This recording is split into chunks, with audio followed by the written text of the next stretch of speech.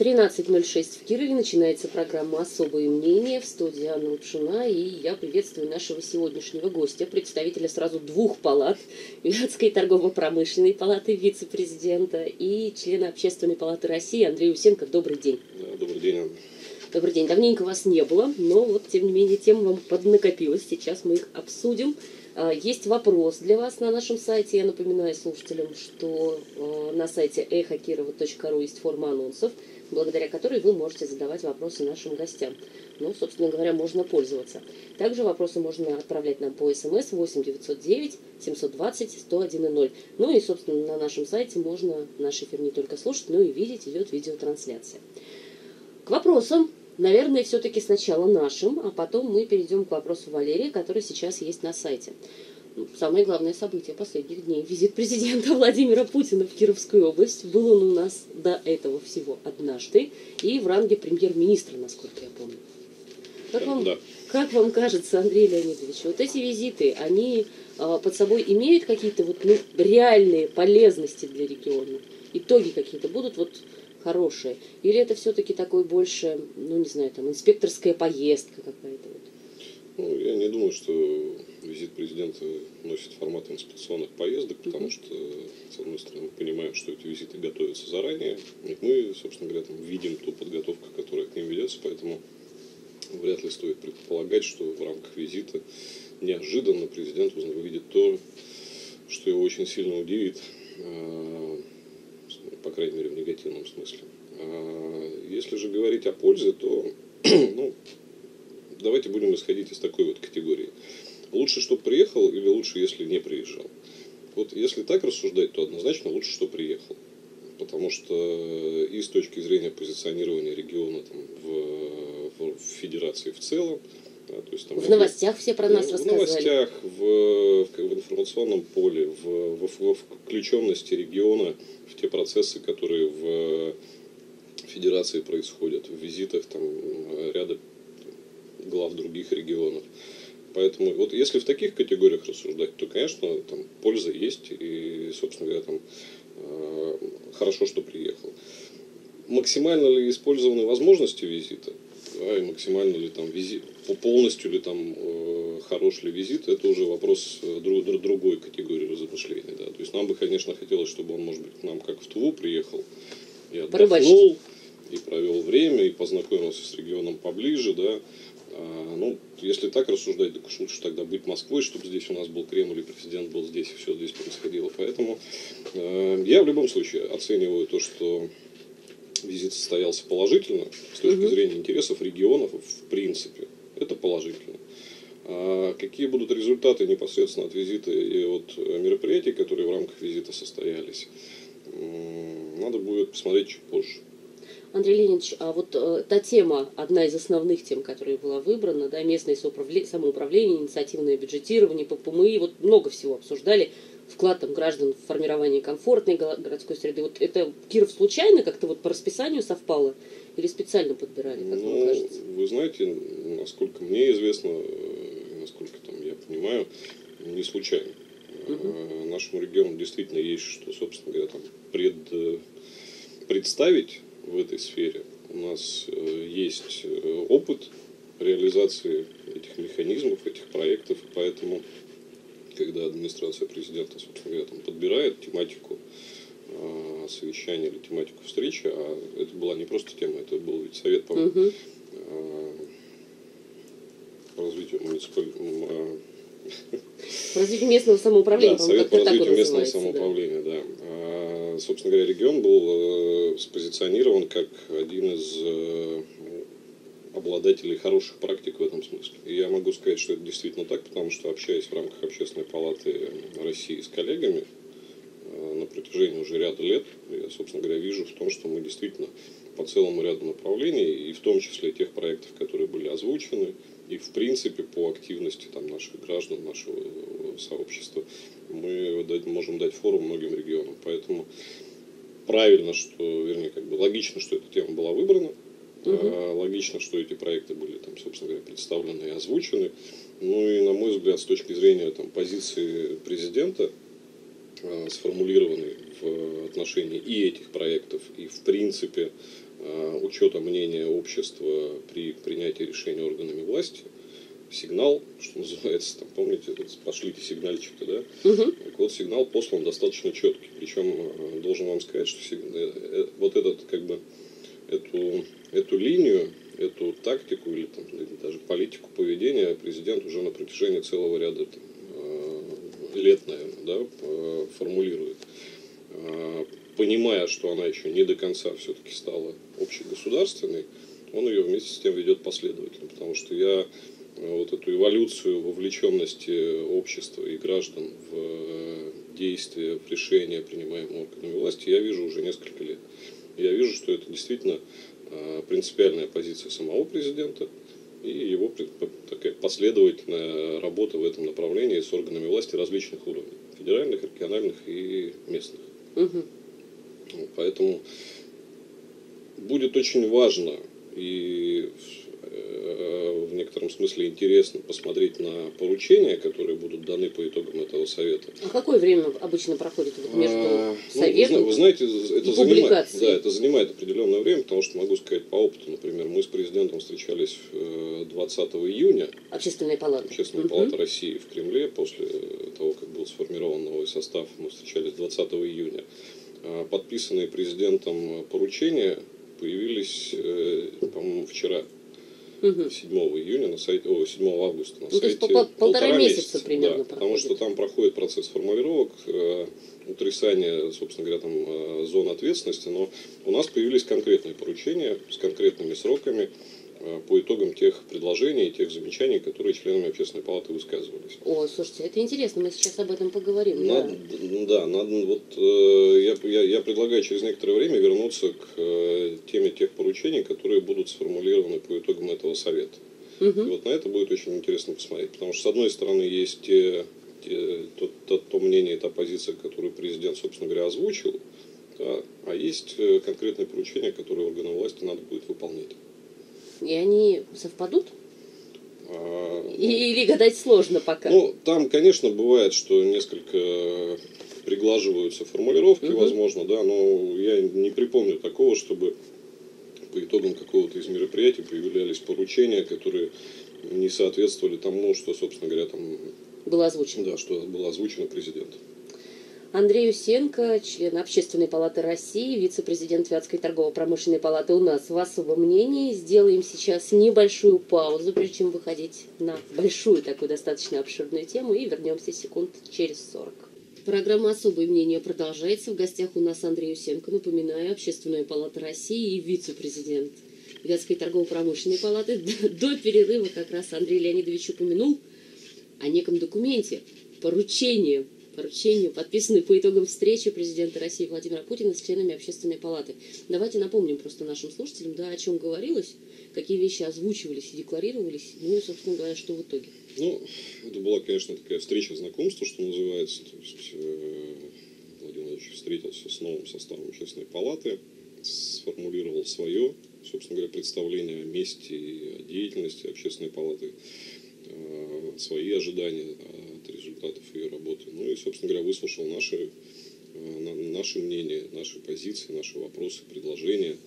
Э, Секретарь палаты, вновь избранный Валерий Фадеев, собственно говоря, озвучил, что достаточно серьезный акцент будет делаться на,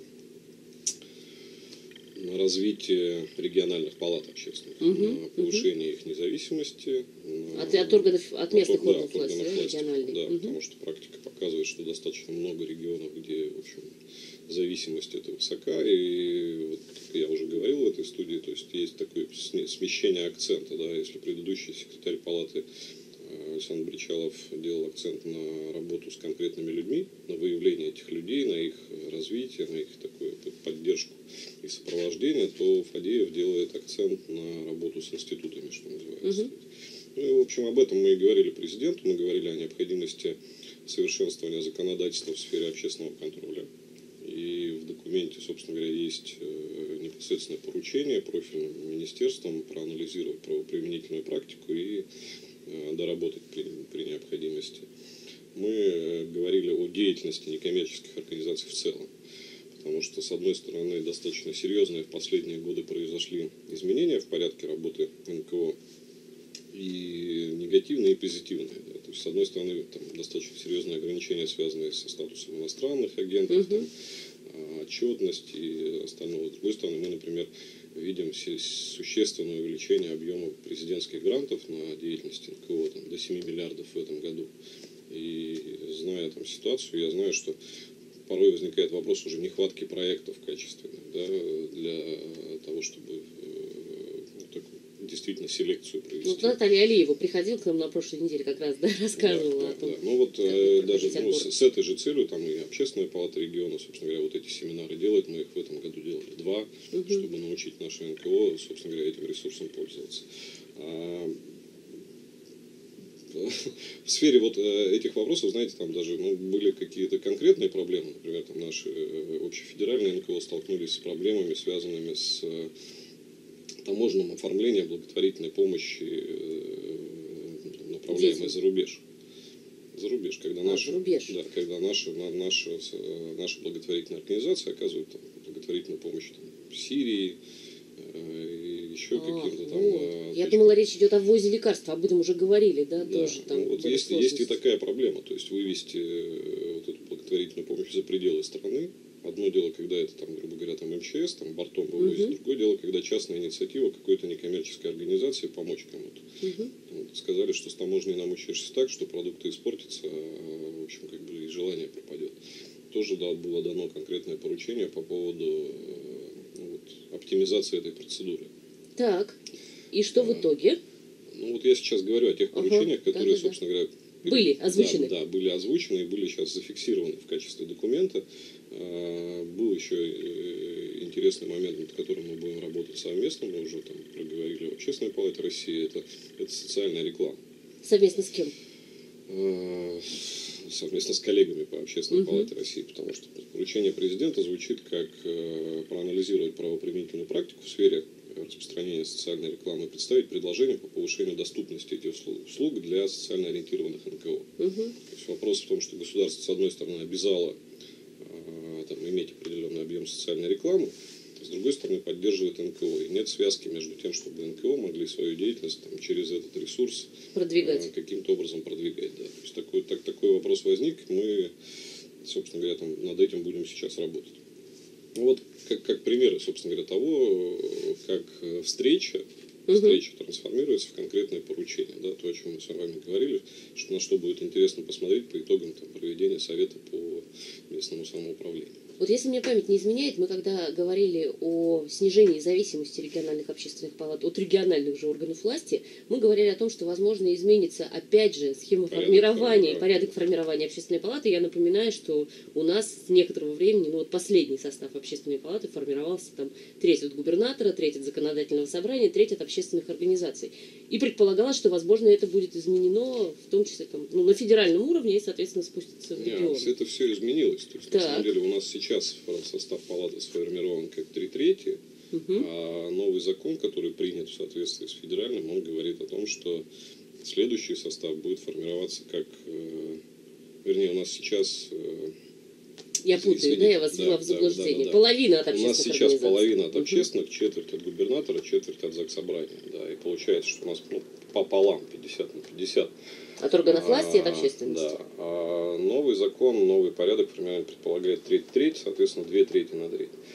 С одной стороны, вопрос не столь, не столь принципиальный. На самом деле не от порядка формирования, а от конкретных людей зависит. Мгм. И ЗАГС собрание, и губернатор могут направить в общественную палату тех общественников, которые, собственно говоря, будут полноценно представлять А могут и не направить. А могут и не направить. Но есть проблемы и со стороны некоммерческих организаций. Они тоже могут направить или не направить. Не Поэтому, людей. да, здесь э, главная все-таки задача это не столько там упираться в изменение порядка, сколько понимать, что за люди, и вот этих людей выращивать, развивать. Общественная палата хороший, хорошая школа такой общественной деятельности. Я всегда говорил, что ротация членов общественной палаты достаточно, должна быть достаточно большой. Мгм. Это хорошая школа, через которую, пройдя там, в течение двух-трех лет, ты начинаешь там, серьезно понимать, как устроены там, многие работающие и неработающие механизмы, как, как, как, надо, ну, как надо работать, собственно говоря.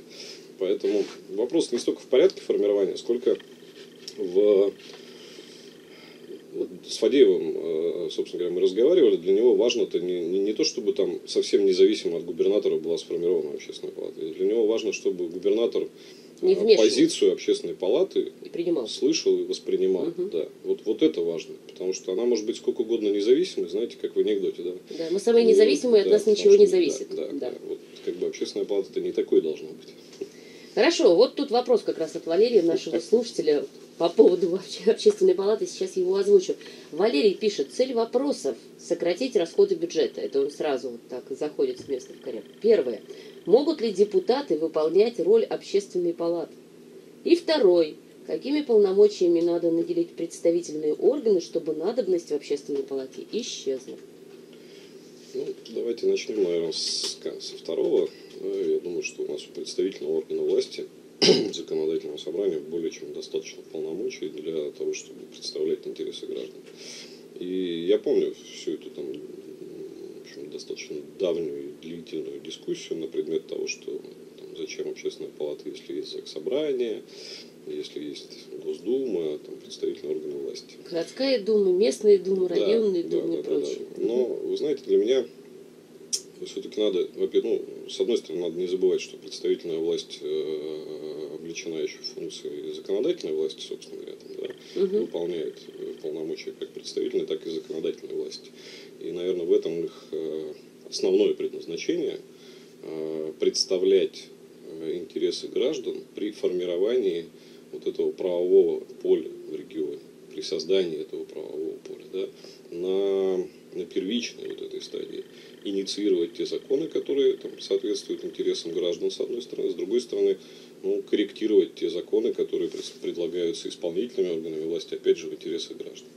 Общественная палата немножко про другое. Это скорее пост работы, да, когда уже правовое поле сформировано. Да, одним из направлений работы общественной палаты является нулевые чтения, но мы, опять же, не подменяем здесь депутатов. Мы, Мгм. когда еще вели речь о законодательной инициативе, мы говорили о том, что мы дополнительно предоставляем им возможность учета там, различных мнений. Потому что депутаты э, при э, принятии законов, при работе над законопроектами должны учитывать целый спектр интересов. Начиная от интересов общества, заканчивая интересами экономики региона.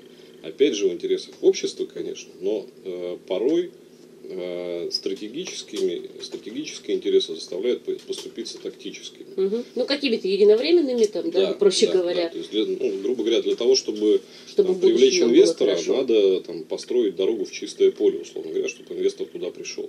С А точки- на, это, а на это бросить деньги, которые сейчас могут понадобиться для ну, чего-то условно, другого, в да? качестве Мгм. примера, да, и мы Очень понимаем, что инвестор придет, через 10 лет начнутся там налоговые отчисления, все остальное. Но это вот стратегическая задача, депутаты в своей работе должны вот так многогранно смотреть. Общественная палата в большей степени инструмент, наверное, и механизм такой тактический с точки зрения э, обратной связи того, что происходит в обществе, мнения, которые общество имеет по, по тем или иным э, вопросам, во-первых. А во-вторых, э, та плоскость, которая, наверное, в меньшей степени имеет отношение к деятельности депутатов, это плоскость такая социальная, там, социальной активности, э, активности, там, ну, такой, знаете, культурно такой Благотворительный. общественный, Общественный. общественный, Мгм. благотворительный, да, то есть вот такая- то есть э, я несколько лет назад еще здесь говорил, там год или два назад, что вот, наверное, депутаты, представительная власть это больше как бы экономика, больше э, такая прагматика жизни, да, а мы больше вот такой гуманитарии, да, там Мгм. вот про это, то есть поддержка людей, Физики и лирики. ну да, поддержка людей, то есть э, депутаты действительно вынуждены все время думать о деньгах, да, там, где взять, э, как поделить, э, куда перераспределить. А Мы в статусе там, членов общественной палаты, и, собственно говоря, там, будучи общественными деятелями, мы э, генерируем те посылы, которые они в своей работе, собственно говоря, должны там учитывать и принимать. Это первый момент э, работы общественной палаты. А второй очень важный, и то, чем не будет заниматься ЗАГС-собрание, потому что ну, не их функционал. Это развитие институтов, инфраструктуры и, в принципе, там, организации НКО. Мгм. Вот, вот для этого общественная палата и ее очень серьезная роль. Потому что вот этот третий сектор, так называемый, потому что есть экономика, есть государство, есть НКО, почему Мгм. называется третий сектор. А, вот вот за- за- забота о развитии этого третьего сектора, о создании условий, о представлении его интересов, вот это и есть собственно говоря, там работа общественной палаты. Очень важная и та, на которую сейчас действительно делается упор. Могу вам совершенно точно сказать, э, ну, кто следит, кто, может быть, не следит, совсем недавно там президент проводил э, наблюдательный совет ОСИ, Агентства стратегических инициатив. Угу.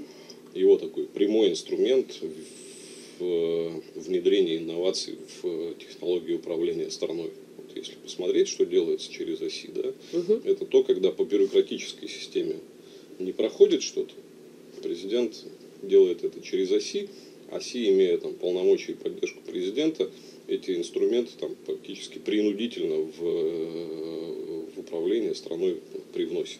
Так вот, э, президент поручил ОСИ, э, собственно говоря, заняться темой развития некоммерческого сектора. Угу. Меня кажется, что вот полностью складывается ощущение из того, что происходит, что на ближайшие несколько лет тема НКО, тема гражданского общества, тема общественной активности, тема учета мнения э, граждан, она будет очень такой, очень, очень серьезной, Весомой. очень весомой, очень серьезной и постоянно, посто- постоянно такой поднимаемой и развивающейся. И через некоторое время мы будем иметь э, дру- другую ситуацию с э, взаимоотношениями органов власти и, и общества. Очень хотелось бы на это надеяться, потому что, конечно, последний год ввергает меня в некоторое уныние, по крайней мере, с точки зрения коммуникации между обществом, СМИ и органами власти. Вот, к большому моему сожалению, в очередной раз я вынуждена это констатировать. Хорошо, э, сделаем сейчас небольшую паузу. Напоминаю, Андрей Усенко, член Общественной палаты России, вице-президент Вятской торгово-промышленной палаты у нас в эфире. Вернемся через две минуты. Особое мнение продолжается. Андрей Усенко продолжает его высказывать, член Общественной палаты России, вице-президент Вятской торгово-промышленной палаты. Но мы сейчас вот переходим как раз к, к деятельности Андрея Леонидовича э, в ВТТП. Потому что, я так понимаю, именно от ВТТП ездил э, ну, делегация, я не знаю, может быть, вы, вы ездили, может быть, Небольшая делегация. небольшая делегация, ездил в Удмуртию. Удмуртии несколько дней назад, я так понимаю. 1 августа. А, ну вот, завершился, прошел а, форум, я не знаю, не форум, такое мероприятие, которое называлось «Инвестируй в Удмуртии». То есть, по, по сути, это такая вот ну, презентация региона была, да? Да, презентация инвестиционного пот- потенциала. Мы ездили действительно небольшой делегацией. Ольга Викторовна Куземская от правительства области, и я и Илья Павлович Прозоров. э, Банк Клынов. Да, Банк Клынов. Они планируют открыть свое, собственно говоря, там отделение, представительство в Им было интересно посмотреть. Мы ездили с двумя, наверное, основными целями. Первая задача была ну, посмотреть, собственно говоря, как, как это делают в Удмуртии, что они э, придумали нового интересного. Ну, а второе было там договориться и обсудить э, презентацию Кировской области в Удмуртии на, на октябрь, потому что в октябре у них будет полноценный деловой форум, уже такой межрегиональный. И мы туда и мы поедем. планируем представить там э, полноценную экспозицию региона и делегацию региона с целью установления э, меж, э, межрегиональных экономических контактов, что сменилось руководство и, и в Кировской области, и в Республике Удмуртия. Есть э, определенные ожидания бизнеса, есть интересанты среди, среди, среди бизнеса, и есть те вопросы, которые касаются там, межведомственного взаимодействия органов власти. Мгм. Целый ряд вопросов, там, начиная от ну, пожарной безопасности в лесах, медицинского взаимодействия, там, всякие, ну, межведомственные, дор- дор- дороги. там. Вот, поэтому договорились, что э, в рамках вот, э, делового форума Удмуртского мы 10 октября планируем туда выезжать. Собственно говоря, там наших слушателей, кто будет, э, кто заинтересован в взаимодействии с Удмуртией, приглашаю в торгово-промышленную палату обратиться, собственно говоря, чтобы войти, может быть, в состав этой делегации. Ну и посмотрели, как это сделали наши коллеги с точки зрения презентации инвест-потенциала. Есть чему там, в хорошем смысле поучиться. Я, честно говоря, слышала отзывы, что это как-то прям вот очень масштабно было. Ну, это было масштабно и современно, так скажем, да, то есть это э, было действительно не в таком, не в классическом э, формате. То есть не скучное заседание за столом крупным. Да, это было... э, Они, во-первых, действительно качественно поработали со сбором аудитории, потому что было порядка 250 человек, представляющих действительно, э, так скажем, бизнес, который готов э, инвестировать, который заинтересован в этом. Ну и вся презентация была построена в роли, во-первых, интерактивный, э, был большой экран, который нас впечатлил, котором качественно, очень эффектно и эффективно разработанная была презентация. Ну и, собственно говоря, там половину презентации провел лично э, исполняющий обязанности главы республики Александр Бричалов. да. Угу. Он рассказал и о республике, о самой о ее возможностях, и о э, проектах государственно-частного партнерства, которые они предлагают, собственно говоря, беря на себя определенные обязательства. Ну а его э, два заместителя, также из его команды, рассказали о конкретных проектах, которые они э, предлагают к инвестированию. Причем это конкретные предприятия. Они сказали, что за, за, за три месяца они выбрали 100 так называемых чемпионов бизнеса Удмуртии, и они предлагают их инвесторам в качестве объекта для инвестиций. А второй рассказал о тех направлениях экономики, причем экономики как традиционной, классической, начиная от добычи нефти, от увеличения, так и об экономике будущего, цифровой, Удмуртия, например, там, я знал, что там производятся беспилотные э, летательные аппараты, угу. но, по крайней мере, по их заявлению, они сейчас занимают 2% мирового рынка. Ничего себе. 2% мирового рынка беспилотников занимает удмуртская продукция в этой сфере. Вот такая цифра, которая, собственно говоря, там удивительно достаточно выглядит. И, все это, и все это они презентовали. И все это они презентовали. Такую широкую аудиторию. Да, да. Поэтому есть чему поучиться, есть что взять для себя. А, а взяли, вот, ну, с Ольгой Викторовной вы мнениями да, обменивались? Да, потом? мы обменивались как раз с точки зрения того, как надо представлять наш регион, как надо работать с инвесторами, потому что э, вопрос ведь не в... Ну, я просто могу там сказать, вот, э, вот со сцены были на экране и названы номера сотовых телефонов двух заместителей непосредственно там Бричалова, которые отвечают за работу с инвесторами. Вот эти два Любой человека. человек может звонить. Ну, из тех, кто присутствовал, вот они, собственно. Вот бизнес, вот два заместителя. Вот их телефоны, любые вопросы, которые у вас есть, вы обращаетесь к ним. Они лично отвечают за э, там, реализацию этих проектов. Так. Ну и, собственно говоря, там, зная Александра Владимировича несколько уже лет, я понимаю, mm-hmm. что для него это действительно э, формат работы он, мы, может быть... Э, максимально короткая дистанция. Максимально короткая, максимально эффективная. Мы, может быть, знаете, чем страдаем? Мы все пытаемся придумать какие-то универсальные способы, механизмы, регламенты. Там, да, вот мы, когда мы говорим о работе с инвестором, мы имеем в виду какого-то там, э, такого абстрактного инвестора, который стоят к нам в очередь. Вот мы сейчас разработаем регламент, и они все по этому регламенту у нас пойдут. Надо понять, что нет этой очереди инвесторов огромная конкуренция между регионами за, за каждого инвестора. Соседними регионами. Соседними. Кировская область не в самом выгодном положении. Всей России. Я недавно был в Калуге. Ой, Калуга это вообще боль. Про, мне проехался, посмотрел. Счастье для жителей Калуги и боль для всех остальных регионов. Ну, они тоже там не очень своему счастью, может быть, так вот прям восторженно рады, потому что то, о чем я вам говорил, потому что некоторые деньги пришлось потратить не, там, не в интересах жителей, а в интересах тех инвесторов, которые угу. заходят. И несколько лет назад я говорил с замгубернатора Калуги, он сказал, мы не ремонтируем дороги, потому что мы должны построить промпарки. Но мы осознанно на это идем, мы немножко потерпим, зато потом у нас будут деньги на, на, дороги. на дороги и на все. Да. Вот. Поэтому мы взяли для себя, мы понимаем, что надо переориентироваться с, с работы с абстрактным инвестором на инвестора конкретного. За каждого надо просто в штучном режиме вот так вот браться, хвататься там, и в хорошем смысле там цепляться и держать в объятиях.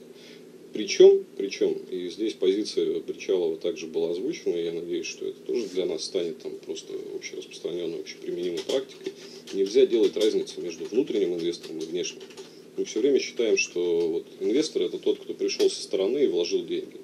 Мы не умеем работать с внутренними инвесторами. У нас большая проблема с теми предприятиями, которые хотели бы здесь уже действующие, наши кировские, расширяться, увеличивать производство. Они не могут зачастую получить там, земельные участки, либо это затягивается очень надолго.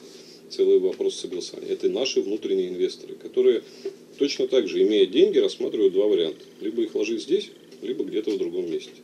И если мы не дадим им возможности максимально комфортно это сделать здесь, они найдут другое место. Бизнес найдет, куда вложиться.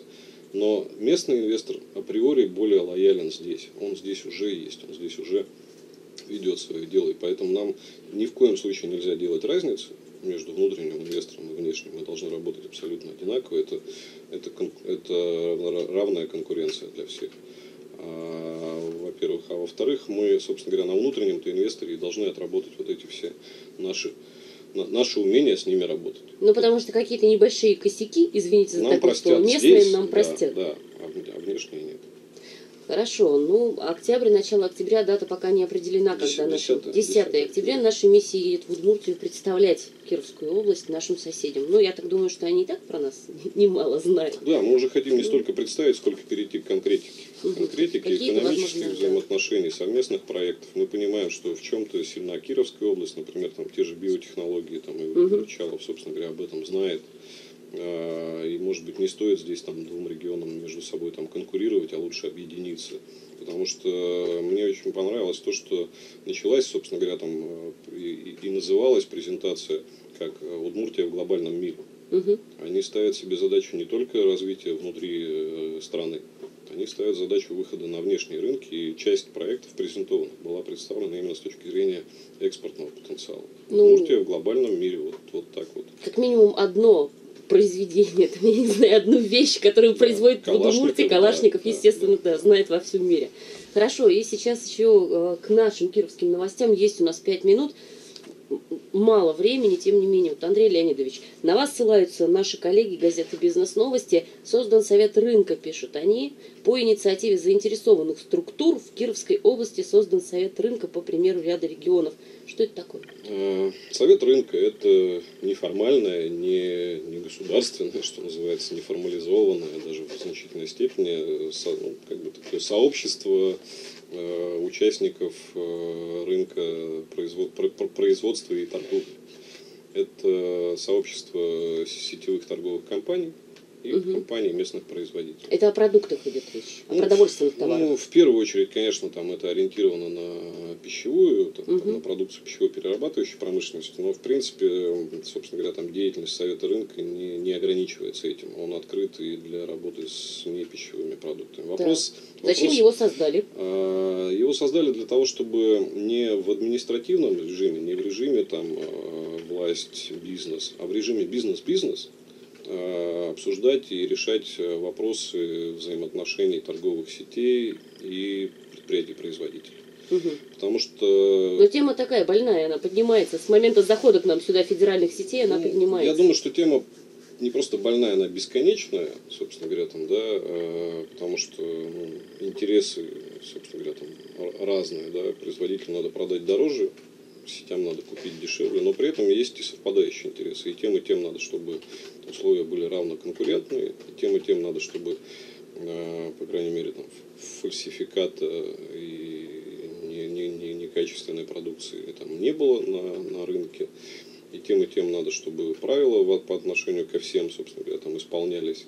Но э, в чем особенность Совета рынка, повторюсь еще раз, это не, э, не структура, где административными методами пытаются решить, это структура, где бизнес разговаривает с бизнесом. Где пытаются договариваться. И старается друг друга понять. И в принципе по э, примеру там, первой э, встречи, которую мы провели в э, конце июня, мы видим, что это понимание есть.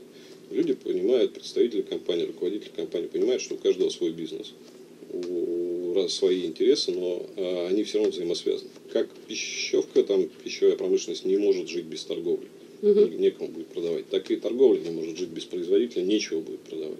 Поэтому все равно надо искать варианты решения вопросов, все равно надо как-то договариваться. Поэтому вот, э, собственно говоря, основная задача Совета рынка это такое ну, как принято говорить, не очень люблю это слово, это такая площадка для диалога. А, простите, пожалуйста, я не уточнила сразу. Он, а, а Совет рынка при ВТТП будет работать? Да, Совет рынка это структура при торгово-промышленной угу. палате. Мы посмотрели на опыт других регионов, в частности Владимирской области. Там есть прецедент, пример такого хорошего работы и взаимодействия. Мы провели первую встречу, собственно говоря, рассказали заинтересованным э, участникам о вот этом формате, его поддержали все. Много ли было народу на первом вашем заседании, собрании? Ну, порядка, по-моему, 15 человек. А, ну это немало, конечно. Нет, это немало, но мы не, не гнались за количеством, нам было важно понять качество, но мы должны сказать, что при этом присутствовали ключевые игроки, как среди сетей, причем мы, опять же, там, приглашаем и местные сети, вернее, и федеральные, и местные угу. сети, и среди производителей. Были высказаны пожелания э, относительно формата работы, были э, сформулированы те темы, которые уже сейчас надо брать в работу, темы непростые. Э, я, собственно говоря, вашим коллегам в интервью Мгм. там их озвучивал. Но в том числе были, в общем, озвучены и такие шаги навстречу. То есть было сказано о проведении торгово-закупочных сессий, презентаций, собственно говоря, там федеральных торговых сетей в рамках открытия распредцентров. Мгм. И здесь э, надо отдать должное все-таки то, что нашли, наша власть нашла возможность решить вопрос вот с тем, чтобы эти распредцентры открылись у нас, потому что возможности действительно для наших предприятий определенны. Не, не, не, идеально. Не стоит ждать, что сейчас там распредцентр откроют, и от этого изменятся условия работы с сетями. Но определенные условия для наших предприятий, развития и расширения своего, своих рынков сбыта появляются. Надо работать. Э, Это вещи, которые ну, практика показала уже не решить ни административным давлением, ни там, законодательными ограничениями. Это все там only бизнес, что называется. Садиться, договариваться, искать э, приемлемые условия, но при этом э, всегда держать в, э, скажем так, в голове свои интересы. Мгм. Интересы региона и заставлять всех, кто здесь в этом регионе работает, работать в интересах этого региона. Наш- нашего региона. Хорошо, еще уточню э, одно маленькое уточнение, потому что времени почти не остается. Как часто будете собираться? Э, ну, Ну, то есть есть какой-то регламент там, да, Да, раз в месяц? предварительно это, конечно, запланировано, ну, мы ориентируемся на раз в месяц, как бы, но Мгм. это будет зависеть от готовности, потому Ну, что есть понятно. вопросы, которые ну, требуют серьезной подготовки, юридической проработки. там, и проработки, да. Андрей, Но, в свою очередь, приглашу всех заинтересованных, опять же, предприятий, з- руководителей предприятий. Совет рынка не закрытая структура. Если кому-то интересно э, вот этот формат работы, э, пожалуйста, мы ждем в торгово-промышленной палате. Спасибо Андрею Усенко, вице-президенту Вятской торгово-промышленной палаты, члену Общественной палаты России. Был сегодня с нами в особом мнении. Я Анна Лучина с вами прощаюсь. До свидания. До свидания.